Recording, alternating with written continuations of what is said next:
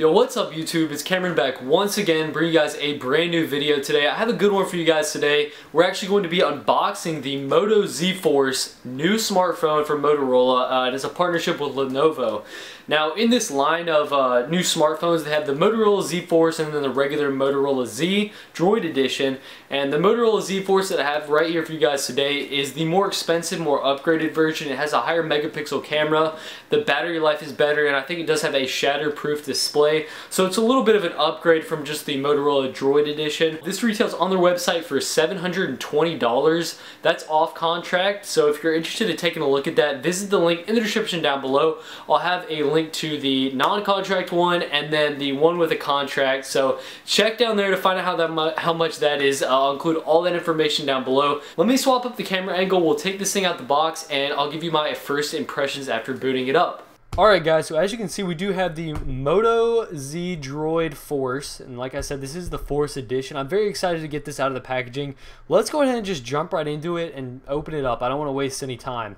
Now, this is a Verizon only phone, I do believe, so you're only going to be able to get this on Verizon, which is convenient because I am on Verizon, so I'm probably going to pop my SIM in here and just use this as my main phone for the next 30 days.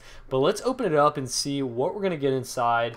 Um, as you can see right off the bat, we do have the phone on the very top. It does look very nice. Um, it has the amazing peel that everyone loves. You just peel that right off. Oh, it looks so perfect right now. This is the most perfect it's ever going to look. I guarantee it. It's going to get a fingerprint on there.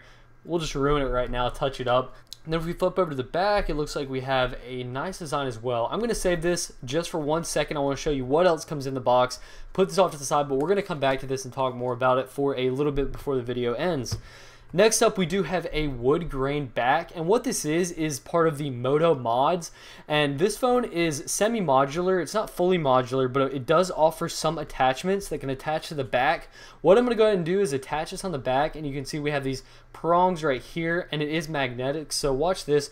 All we do is we pop this on right here, and now we have a new back plate on the phone. So it raises a little bit off the back, not too much, but uh, it's pretty cool that they do have this. It does offer a, you know some extra options on top of the ones that you already have. So you can add a projector onto this. That's one of the Moto mods. You can add a speaker onto this. That's another one. Um, they also have a battery, and I'm sure they're gonna have many more to come. So it's just another unique thing that sets us apart. So cool to see that on there. Like I said, I'm gonna set this off the side. See what else we get.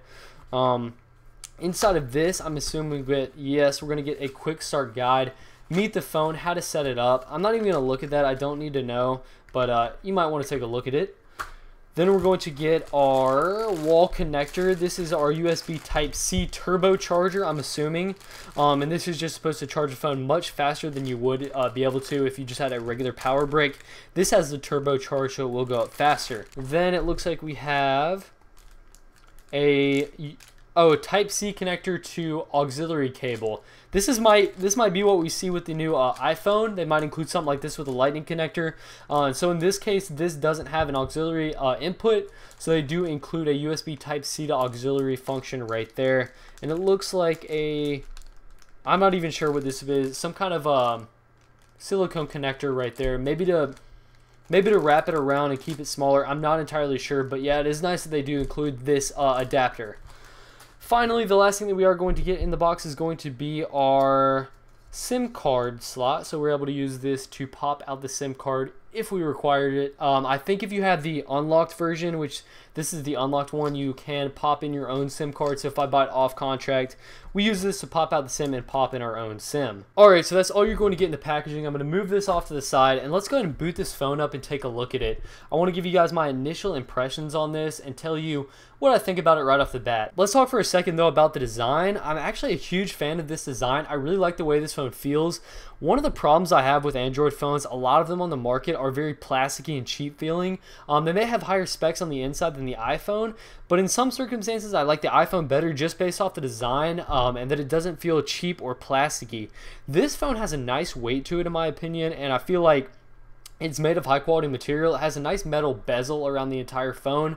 The back plate is uh, some type of aluminum or something like that. And then, like I said, it does have that shatterproof display. So right off the bat, they're using very high quality materials. And I like the weight of it just because it doesn't feel cheap. It doesn't feel like it's going to break. Uh, I just am not a huge fan of plasticky feel. So we got the phone booted up. Um, let's see. Everything feels responsive so far. I like the screen. Um, it looks very, very nice. The colors and everything look very detailed.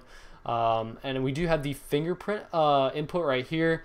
It's supposed to be pretty good. I haven't set it up yet. I'll set it up for my full review. I just want to give you guys my initial impressions on this. Um, seems like everything boots up pretty fast, works pretty well. Let's see what the camera looks like. Okay, so not too bad. Flip it. Oh, so dude. What's up?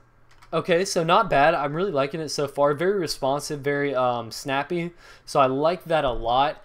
And really, like I said, my main complaint is just that a lot of Android phones feel cheap because they're plastic, but they are relatively cheaper than the iPhone, so I'm not surprised.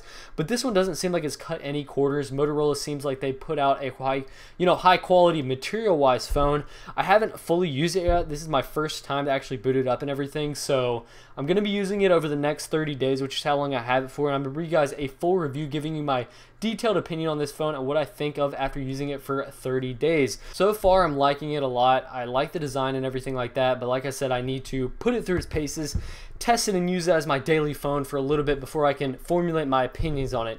But anyways, guys, I do hope you enjoyed this unboxing video. Just a quick, unprofessional video. I just want to give you guys my first impressions, uncensored, unbiased. So that is what I brought you guys today. If you did enjoy, make sure to leave a like rating on the video. Subscribe to the channel for more content. I, upload, I do upload technology videos pretty regularly on my channel. So if you are interested in that, stay tuned for more of those. Um, and then leave a comment down below what I can improve on, what you guys want to see my full review, and um, some questions that you may have about this phone. Anyways, thanks so much for watching, guys. I do hope you enjoyed. This has been Cameron Reviews, and I will catch you guys in my next video. See ya.